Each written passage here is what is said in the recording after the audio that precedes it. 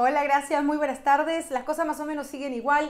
En los pocos cines abiertos a través de la nación podemos ver películas independientes y de bajo presupuesto, aunque la moda del autocine pica y se extiende y creo que es una muy buena opción para ir en familia al cine respetando el distanciamiento social, pero definitivamente son las plataformas digitales las que siguen arrasando con producciones millonarias y con grandes actores, como es el caso de la película que destaca esta semana, Project Power.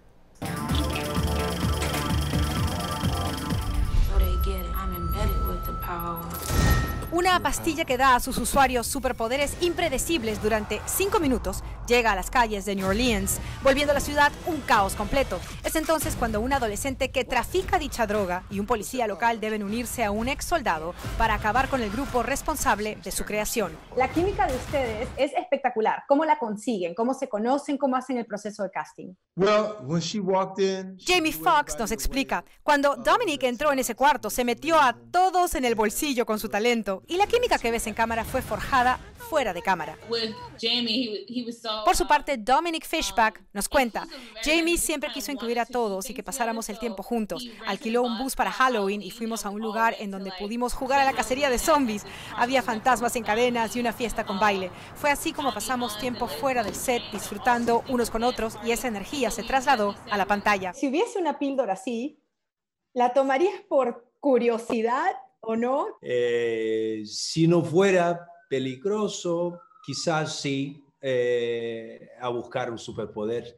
Bueno, ahora en ese momento que estamos viviendo, creo que un montón de superpoderes serían muy, muy útiles. De veras, que ya nuestros médicos están cansados. Sería bueno darles un, par de esas píldoras. una super, super inmunidad. completely, utterly hooked.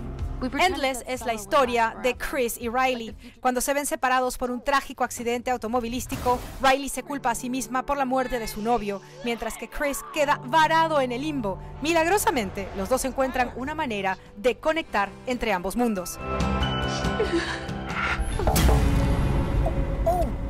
Con la actuación de Danny Trejo y un elenco completamente latino, la cinta de terror Murder in the Woods se centra en un grupo de amigos universitarios que planea un viaje para celebrar una fiesta de cumpleaños en una cabaña del bosque. Poco después de llegar, el grupo de jóvenes descubre los secretos oscuros que esta alberga y tendrán que luchar para salir vivos de allí.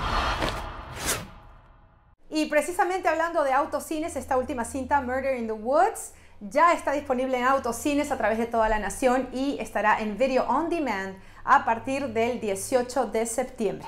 Continuamos con más de Primer Impacto.